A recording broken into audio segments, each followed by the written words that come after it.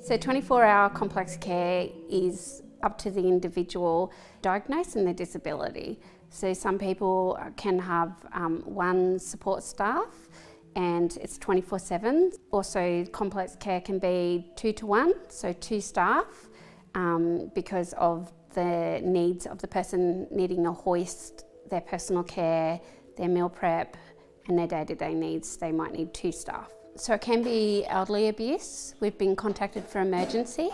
It has been when they've removed from one SIL, so a supported independent living.